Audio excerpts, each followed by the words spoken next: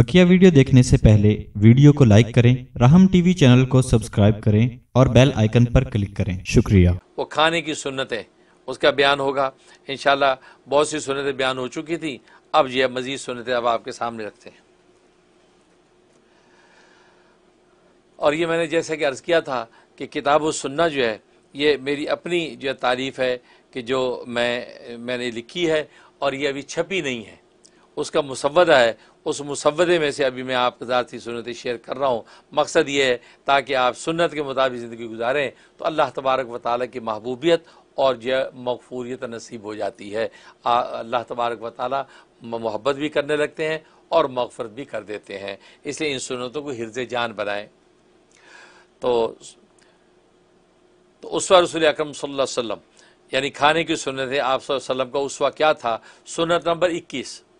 दस्तरखान पर गिरे हुए टुकड़ों को खाना सुन्नत है।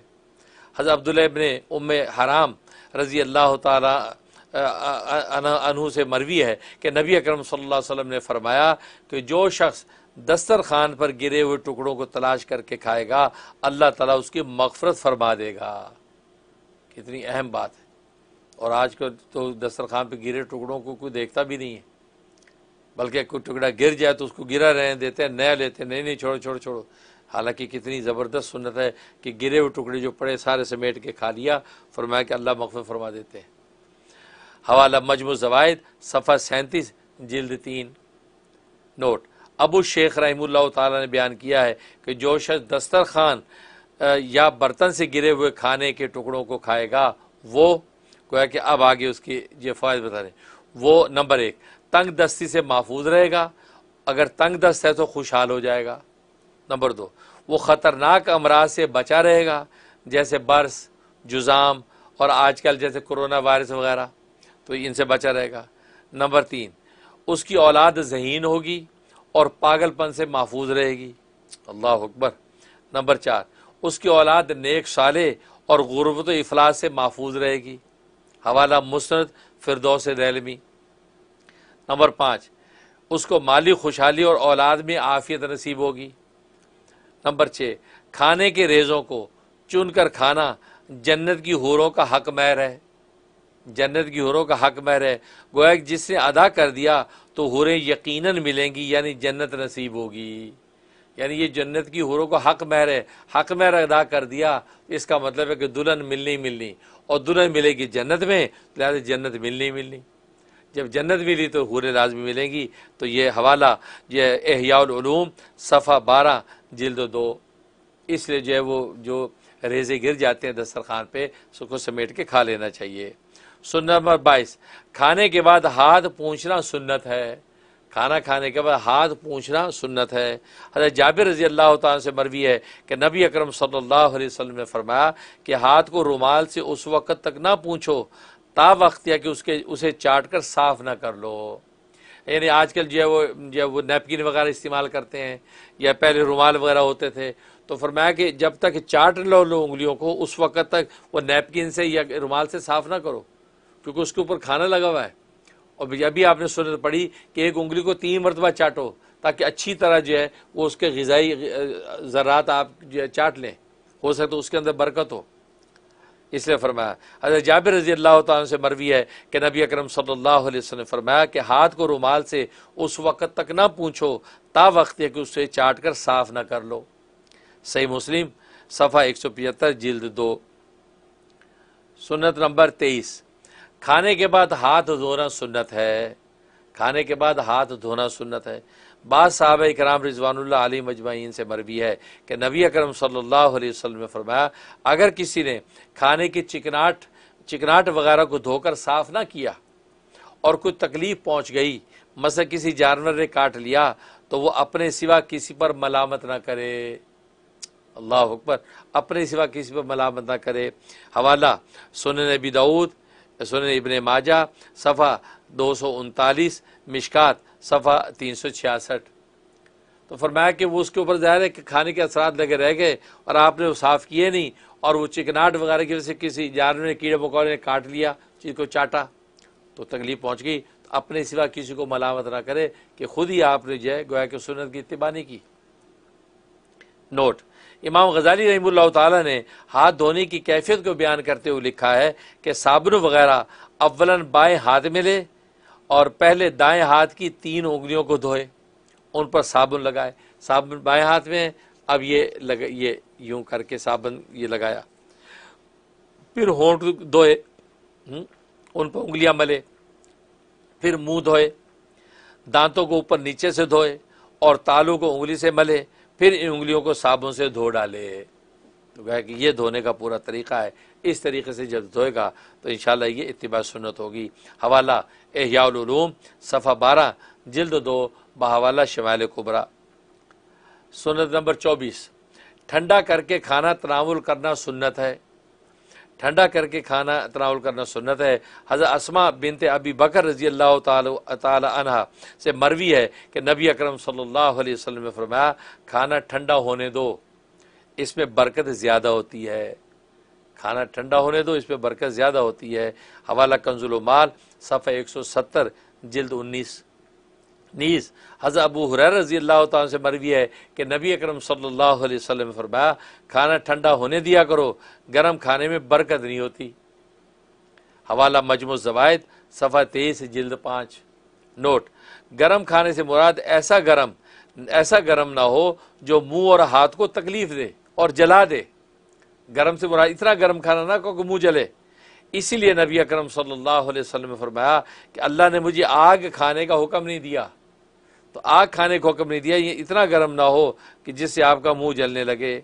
बाहर क्या मोतदिल मोतदिल गर्म खाना खिलाफ सुन्नत नहीं। मोतदिल गर्म खाना खिलाफ सुन्नत नहीं, बल्कि जो खाना गर्म ही खाया जाता हो, उसके गर्म खाने में कोई मुजाका नहीं। यह अहम बात है। बल्कि ख़ुद नबी अकरम सल्लल्लाहु अलैहि वसल्लम की खिदमत में एक दिन गर्म खाना पेश किया गया। तो आप सल्लल्लाहु अलैहि वसल्लम ने तनावुस फरमाया और अल्हम्दुलिल्लाह कहते हुए फरमाया, कई दिन हो गए, पेट में गर्म खाना नहीं गया। कई दिन हो गए, पेट में गर्म खाना नहीं गया। गर्म खाने की क्योंकि आपने तासीन फरमाई। तो मोतदिल गर्म खाना जो है, ये तो सुन्नत है, आपने उसको पसंद फरमाया। हवाला सुन इबन माजा, सफ़ा चार सौ सत्रह जिल्द दो इसलिए गर्मा गर्म पुलाव गर्म गर्म निहारी और गर्म चाय वगैरह खाना पीना हरगिज़ खिलाफ सुन्नत नहीं, बल्कि सुन्नत से साबित भी है। इसलिए तो गर्म खाने से मुराद ये है। सुन्नत नंबर पच्चीस, मिल बैठ कर खाना तनावल करना सुन्नत है। हज़रत उमर इबन ख़त्ताब रज़ी अल्लाह से मरवी है कि नबी अकरम सल्लल्लाहु अलैहि वसल्लम ने फरमाया कि मिलकर खाया करो अलग अलग ना खाओ, क्योंकि जमात के साथ खाने में बरकत है।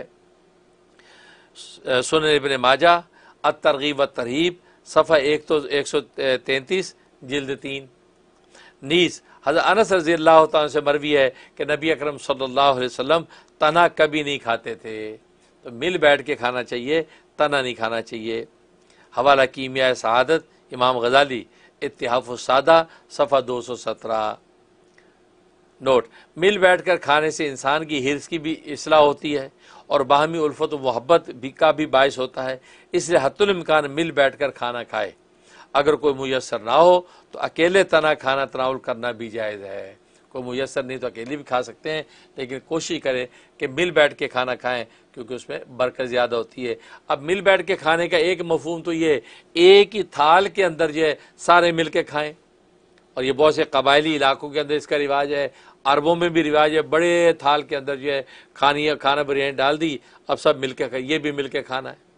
एक ये कि अपने अपने बर्तन में हैं, सारे बैठे हैं, बीच में मेन बर्तन डोंगों में सालन है सब के आगे अपनी अपनी प्लेटें हैं, उसमें डाल डाल के जो है वो अपने सामने खाना खा रहे हैं तो ये भी मिल बैठ के खाना है, क्योंकि सेम डोंगों में से खाना लेके खा रहे हैं। तो जो भी मफहूम खाने का तो यूँ मिल बैठ के खाए। सुनत नंबर छब्बीस। नमाज़ की जमात के वक्त खाना आ जाए तो पहले खाना तनावल करना सुन्नत है। हज़ आयशा सदीक़ रज़ी अल्लाह ताला मरवी है कि अगर नमाज़ की जमात खड़ी हो जाए और खाना आ जाए तो खाना खा लो। हवाला से बुखारी, सफ़ा आठ सौ इक्कीस, जिल्द दो। नीज़ हज़रत अब्दुल्ला इबन उमर रज़ी अल्लाह से मरवी है कि नमाज़ की जमात के वक्त खाना खा रहे होते थे। और इमाम की किरात की आवाज़ सुन रहे होते थे, यानी किरात सुनकर भी आप खाना नहीं छोड़ते थे। हवाला सही बुखारी शरीफ, सफ़ा आठ सौ इक्कीस, जिल दो। नोट, अल्लामा रही ताला फरमाते हैं कि खाने को नमाज़ बाजमात पर मुकदम करने की वजह यह है कि खाने के बाद दिल फारिग हो जाए। खाने के बाद दिल फारिग हो जाए और हालत नमाज़ में ध्यान खाने में ना लगा रहे। गोया शरीत हक्का ने खाने को नमाज़ बना लिया, लेकिन नमाज़ को खाना बनाना गवारा नहीं किया। ये बड़ी पते की बात है। हवाला उमदतुल्कारी शरा बुखारी, सफ़ा अस्सी, जिल्द बारह। मतलब है कि अगर भूख लगी हुई है और इधर जमात खड़ी हो गई तो आपकी जो भूख लगी हुई है, आप खाना खा लीजिए पहले। अगर आपने खाना छोड़ दिया और जमात में शामिल हो गए तो आप नमाज़ में खड़े हैं और ध्यान खाने की तरफ़ है। आप नमाज़ को खाना बना रहे हैं। इससे बेहतर है कि आप खाना खा लें। अब खाना खाते हुए आपका ध्यान नमाज़ की तरफ़ होगा कि फारूक हूँ तो मैं नमाज़ पढ़ूँ। तो आपका खाना नमाज़ बन गया। इससे शरीयत ने कहा, आप पहले आराम से खाना खा के फारूक हो जाएँ, अब इतमान से नमाज़ में जाएँ। तो यहाँ से अब्दुल्ला उमर रज़ी अल्लाह का जो अमल बता दिया कि आप जो खाना खाते रहते थे और जमात खड़ी खड़ी है, आप खाना खा के फ़ारग हो गए, अब शरीक होते सुन नंबर सत्ताईस। जुमे के दिन बाद जुमा खाना तनावल करना सुन्नत है। हर साल इबन साद रज़ी अल्लाह से मरवी है कि हम लोग जुमे के दिन जुमे के बाद खाना खाते और कैलूला करते थे। तो जुमे के दिन खाना जुमे के बाद खाना चाहिए। हवाला से बुखारी शरीफ, सफ़ा आठ सौ तेरह, जिल्द दो, तिरमजी शरीफ, सफ़ा उनहत्तर, जिल्द उनतीस। सुनत नंबर अट्ठाईस। दोपहर के खाने के बाद कैलूला सुन्नत है। दोपहर के खाने के बाद कैलूला सुन्नत है। हज़रत अब्दुल्लाबन अब्बास रज़ी अल्लाह तुमा से मरवी है कि नबी अकरम सल्लल्लाहु अलैहि वसल्लम ने फरमाया कि दिन को सोकर रात की इबादत पर क़ुव्वत हासिल किया करो। दिन को सोकर रात की इबादत पर क़ुव्वत हासिल किया करो, इसको, इसकी, इसको कैलूला कहते हैं। हवाला सुन बहकी शोबर ईमान, सफ़ा एक सौ बयासी, जिल्द पाँच। नीज हज़रत अनस रज़ी अल्लाह से मरवी है कि नबी अकरम सल्लल्लाहु अलैहि वसल्लम फरमाते हैं, कैलूला करो, क्योंकि शैतान कैलूला नहीं करता। यानी दोपहर में खाना खा के थोड़ी देर इस्तेरात कर लो, हैं? जिसको आजकल जो नैप कहते हैं, नैप। थोड़ी सी नैप ले लें। तो नैप ले लेते हैं तो उसी का होता है, बाद में इंसान को निशात हो जाती है। हवाला तबरानी शरीफ और इतिहाफ़ सादा, सफ़ा एक सौ तैंतालीस, जिल्द दो। सुनतम उनतीस। सफ़र से वापसी पर खाने का अहतमाम करना सुन्नत है। सफ़र से वापसी पर खाने का अहतमाम करना सुन्नत है। हज़रत जाबिर बिन अब्दुल्ला रज़ी अल्लाह से मरवी है कि नबी अकरम सल्लल्लाहु अलैहि किसी अहम सफ़र की वापसी पर मदीना तयबा तशरीफ़ लाए तो हज़रत सल्लल्लाहु अलैहि वसल्लम ने ऊँट या गाय ज़िबा की। यानी अहम सफ़र से वापस आए तो खाने की दावत की है, खाना खिला रहे हैं आपसे, गाय और ऊँट ज़िबा किया। आदाब बहकी सफ़ा चार सौ अड़तीस। नोट इससे मालूम हुआ कि हज या उम्र से वापसी पर आम तौर से जो दावत तकरीब का अहतमाम किया जाता है, वो शरण माना नहीं है। बल्कि ख़ुद नबी अकरम सल्लल्लाहु अलैहि वसल्लम के उस हसना से साबित है। इसी तरीके से अहम सफ़र से वापसी पर भी दावत ताम का अहतमाम किया जा सकता है। लिहाजा ये जो है, वो ये फजूल खर्ची भी नहीं आता। लिहाजा हज उम्र से वापस आने पर आप जो है आलिशान दावत करें, गाय ऊँट ज़िबा करें और सब अहबाब को जमा करें, कोई मजाका नहीं। या कोई दूसरा आपके लिए दावत करे और दावत ताम में शरीक हो तो फरमाया कि यह शर्म ममनू नहीं, बल्कि आ हज़रत वसल्लम के उस हसना से साबित है। सुनत नंबर तीस, मुशतबे खाने से या अजनबी शख्स से खाना तनावल करने में एहतियात सुन्नत है। हज़ा अम्मार ने यासिर रज़ी अल्लाह से मरवी है कि नबी अकरम सल्लल्लाहु अलैहि वसल्लम किसी का हदिया, यानी खाना तनावुल ना फरमाते, जब तक के देने वाले पर इतमान ना हो जाता, या वो शख्स खुद उसमें से ना खा लेता। ये एहतियात तब से शुरू फरमाई, जब से खैबर में बकरी का वाक़ जहर देने का पेश आया था। तो अब खैबर में गए थे, वहाँ दावत की थी किसी ने, वो गोश्त में जो है जहर मिला दिया था। तो वह आप जो गोश्त खा बैठे थे लेकिन ये वही के ज़रिए इतला कर दी कि आपने उसको उगल दिया। लेकिन बाद साहब कराम रिजवान आली खा खा चुके थे, तकरीबन नौ साहबा जो वो शहीद हो गए उस जहर से। उसके बाद से आपने एहतियात शुरू कर दी कि अब अजनबी शख्स को खाना लाता तो आप जितना ना फरमाते, जब तक उस पर अतमाद ना हो जाता या ये कि खुद उसमें से ना खा लेता।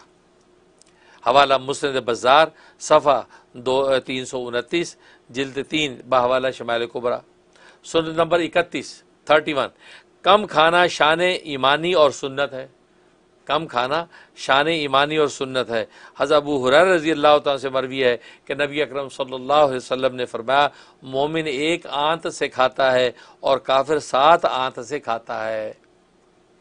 हवाला से बुखारी शरीफ, सफ़ा आठ सौ तेरह, जल्द दो। तो गोया कि मोमिन एक आंत से खाता है और वो जो वो सात, यानी सेवन आंत से खाता है। सुन नंबर बत्तीस। खाने के आखिर में मीठा तनावल करना सुन्नत है। खाने के आखिर में मीठा तनावल करना सुन्नत है।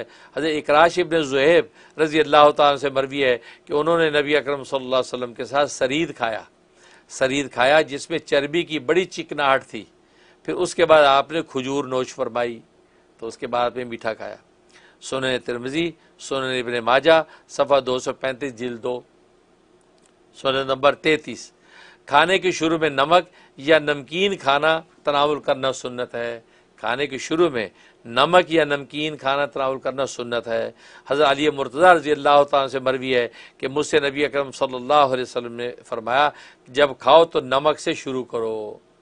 जब खाओ तो नमक से शुरू करो। हवाला मतालब आलिया, सफ़ा तीन सौ पंद्रह, जिल्द दो। नोट, बाज़ रिवायात में खाने के आखिर में भी नमक या नमकीन खाने का ज़िक्र आया है। इससे मुराद मुमकिन है अलग अलग दो वक्तों के अतबार से ये हुक्म हो। बार कह बेहतरीन तथवीक यह है कि इब्तदा नमक से कर ले और अख्ताम मीठे पर करे। या शुरू में नमक, यानी छोटी सी नमक थोड़ा सा चाट ले या किसी नमकीन चीज़ से शुरू करे और आखिर में मीठे पर ख़त्म करे तो ये तदबीक है, इब्तदा नमकीन से करे और इंतहा जो है मीठे पर करे। तो यहाँ तक ये तैतीस जो टोटल सुन्नतें खाने की हो गई हैं। ये खाने की सुन्नतें हैं। इन पर अमल करें और इनको अजबर कर लें। अपने बच्चों को भी अजबर कराएँ, दोस्तों में भी शेयर करें और ख़ुद अमल में लाएँ। इन खाने की बरकतें मिलेंगी और ज़ाहिर है कि सुन्नत पर अमल करने की वजह से अल्लाह हमें अपना महबूब बना लेंगे और हमारे गुनाहों को माफ़ कर देंगे। अल्लाह से दुआ है कि अल्लाह तबारक वाली अमल करने की तोफ़ी अता फ़रमाए। आमीन या रब्बल आलमीन।